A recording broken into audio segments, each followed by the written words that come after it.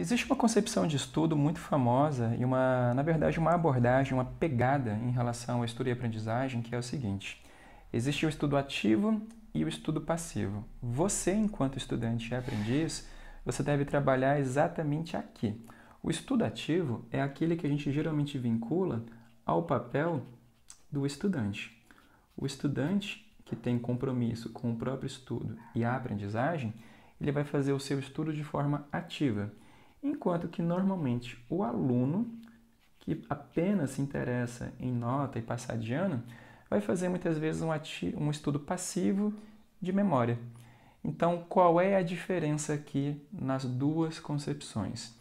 Nesse estudo ativo e nesse estudo passivo, a pegada é a seguinte: no estudo ativo, enquanto você lê, enquanto você tem aula, enquanto você assiste uma videoaula, enquanto você faz anotações, a sua pegada é você produz material.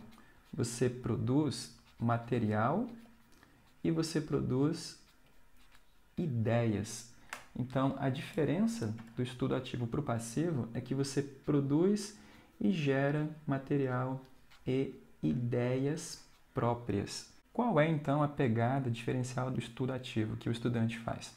No estudo ativo, você produz material, você produz anotações que estão cheias de ideias. Essas ideias são ideias, conclusões, perguntas, reflexões próprias que você mesmo gerou. Esse material produzido é um material também de punho próprio.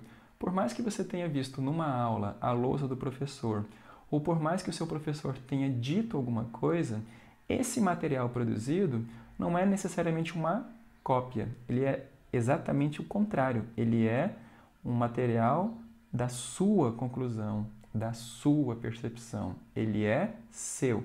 Ele é uma impressão digital da sua inteligência e dos seus pensamentos. O estudo passivo, pelo contrário, o que, que ele é? Ele é um estudo onde se faz cópia de material.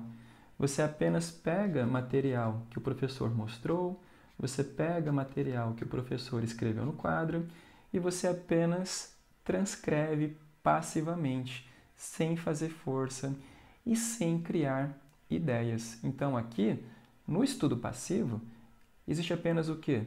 Um consumo de material pronto. Você não produziu e nem criou ideias. No estudo ativo, pela necessidade de produzir material, pela necessidade de produzir ideias ativamente, de punho próprio, fabricados pelo seu próprio cérebro, você tem aqui o que? você tem uma noção, uma concepção de gerenciar mais esforço. Esse estudo dá mais trabalho, ele gera em você uma necessidade de mais esforço, porém, ele é também muito mais impactante. Esse impacto que você vai ter aqui, ele vai gerenciar o que? Um aumento, um incremento na sua memória. Ele vai aumentar a sua aprendizagem. No caso de um estudo passivo, é aquele estudo que você simplesmente está lá olhando o que o professor fala, sem necessariamente pensar sobre aquilo que o professor fala. Você está lá apenas copiando a matéria do quadro, sem necessariamente entender o que é que você está copiando. Muitas vezes você apenas copia palavras sem nem saber o que é que você está fazendo. Então, é um tipo de estudo que, que gera um esforço menor. Esse esforço reduzido vai ter, obviamente, menor impacto. E com pouco impacto cognitivo, você vai gerar praticamente quase nada de memória e aprendizagem.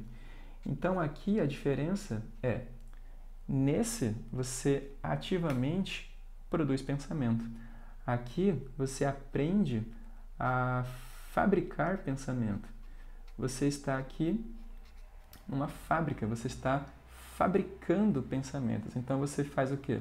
Você fabrica os seus próprios pensamentos. Você produz, você gera alguma coisa. E com isso o seu cérebro aprende a pensar.